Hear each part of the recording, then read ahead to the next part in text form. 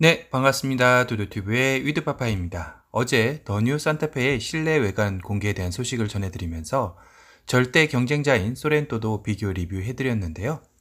둘의 경쟁은 이제부터 시작일 것 같습니다. 우선 둘의 외관 색상을 비교해 볼까요? 쏘렌토의 경우는 외관 색상은 스노우 화이트 펄, 플라티늄 그라파이트, 오로라 블랙 펄, 에센스 브라운, 미네랄 블루 총 6가지 색상이고요. 스노우 화이트 펄은 8만원 추가이죠. 더 뉴 싼타페의 외장 색상은 3가지 색상이 더 많은 총 9가지라고 하네요. 마그네틱 포스, 팬텀 블랙, 타이가 브라운, 레인 포레스트, 타이푼 실버, 라군 블루, 아이스 화이트, 글레이셔 화이트, 라바 오렌지로 출시될 예정이라고 합니다. 특이한 것은 팰리세이드에 이번에 캘리그래피로 나오면서 추가된 레인 포레스트 색상이 싼타페 페이스 리프트의 초기 출시 모델에 포함이 된 점인데요. 바로 이 점에서 착안한 부분은 아마 더뉴 싼타페에서는 캘리그래피 모델이 어, 동시에 초기 출시될 것 같다라는 예상도 나오고 있습니다. 뭐 그런 위장막도 어, 포착이 되었었죠. 그만큼 싼타페 페이스 리프트에 거는 기대가 현대로서는 크다고 할 수 있을 텐데요. 색상도 쏘렌토 대비 세 가지 더 나오는 점도 그 연장선이겠네요. 쏘렌토의 실내는 블랙과 새들 브라운 인테리어인데 싼타페는 세 가지 정도가 되지 않을까 싶은데요. 쏘렌토 풀체인지 클럽을 통해 차량 출고 기준 6월 1일 기준으로 1200호 어, 차가 출고 인증되었다고 하네요.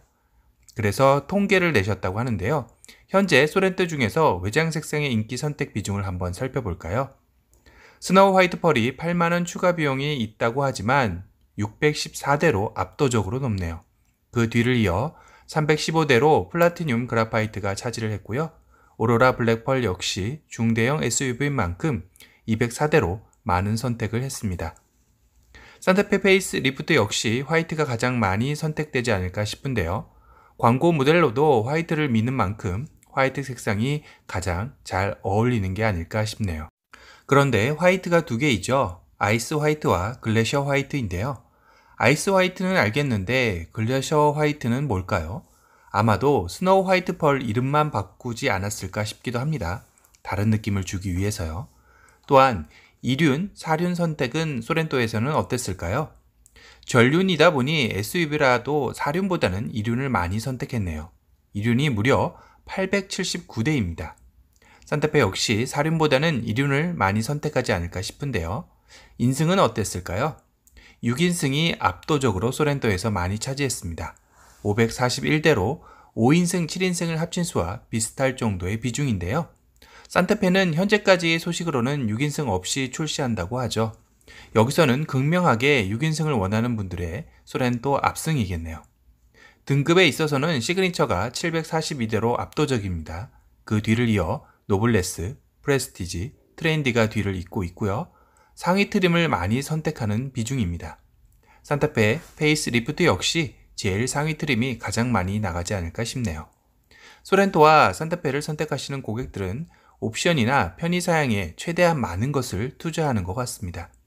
그 중에 추가 옵션으로는 상위 3가지 옵션이 Drive Wise, UVO 내비게이션, 스타일 옵션에 많이들 투자하셨습니다. 오늘은 소렌토 full change 출고 현황으로 산타페 facelift의 고객들 선호도를 잠시 예상해 봤습니다. 이제 실내외는 완전히 공개되었으니 얼른 산타페 facelift의 가격과 제원 역시 공개되었으면 합니다. 또 다른 신차 소식으로 찾아뵙겠습니다. 지금까지 도도튜브의 위드파파였습니다. 감사합니다.